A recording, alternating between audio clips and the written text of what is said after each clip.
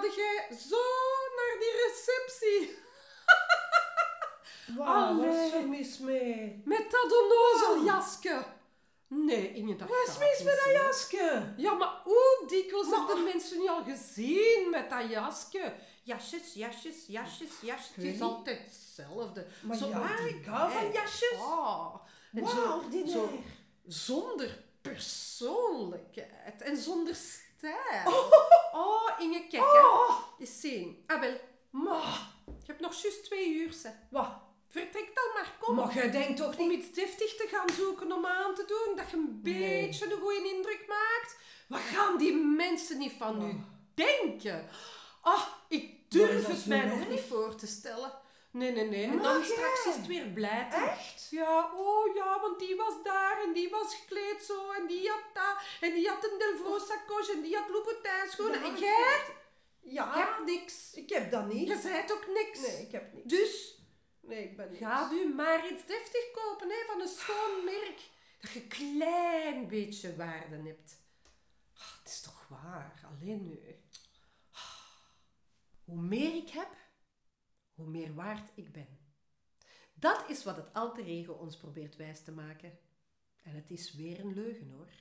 Want het is het alter ego, de stem in ons onderbewustzijn, die ons dit probeert wijs te maken. En dat komt natuurlijk vanuit een totaal verkeerd wereldsbeeld. Wij zien mensen rondom ons die meer hebben dan dat wij hebben. En wij denken, ah ja, als ik dat heb, dan ben ik evenveel waard. En als ik dat heb, dan ben ik evenveel waard. En nu is de rat race begonnen. Nu is de klopjacht begonnen naar het najagen van geld, zodanig dat we heel veel spullen kunnen kopen en kunnen etaleren dat we meer waard zijn. Nu, weet je wat grappig is? Het omgekeerde is ook waar voor het alter ego. Hoe minder we hebben, hoe minder we waard zijn. En ja, nu moeten we wel een inhaalbeweging doen om iets waard te zijn. De waarheid zit echter van binnen. Hoe wij onszelf voelen, hoe wij onszelf beschouwen, hoe waardevol wij onszelf voelen, dat is wat belangrijk is. Spullen zullen nooit dat gat van leegte kunnen opvullen. Nooit. Daarom dat zoveel mensen altijd iets najagen tot het moment dat ze het gekocht hebben ah, en dan zich weer slecht voelen en schuldig voelen, want ze hebben weer geld verbrast. Ze zijn weer over hun limiet ge- gegaan en ze hebben ontdekt dat dat paar schoenen hun weer eens niet gelukkig heeft gemaakt. De vraag is dan, wacht even Inge, is het dan verkeerd om leuke spullen te hebben in het leven? Nee, natuurlijk niet. Ik hou nu eenmaal van leuke jasjes. Dit is prima. Maar hoeveel heb je er nodig om gelukkig te zijn? Dat jasje gaat jou niet gelukkig maken. Jij gaat jezelf gelukkig maken. Dus het is belangrijk dat we ons realiseren dat het najagen van rijkdom en spullen en aanzien een onnozel spelletje is. Want daar zal jouw meerwaarde nooit van komen. Wij moeten onszelf waard leren vinden voor de persoon die we zijn.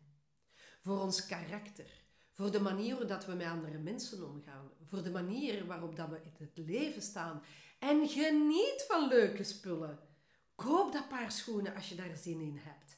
Maak die reis met je familie, zodanig dat jullie prachtige herinneringen kunnen bouwen. Maar besef dat het najagen van die spullen, opdat jij je beter zou voelen, opdat jij je meer waard zou voelen, een compleet, eindeloos en vooral uitputtend spelletje is. Uiteraard hoef je dit niet aan te nemen. Dat is voor elk van ons persoonlijk. Maar als je denkt, "Hmm, ja, daar is wel iets van, wel dan hoop ik dat dit jou geholpen heeft. Graag tot snel. Voor meer inspirerende video's en gratis content, surf naar ingerok.com.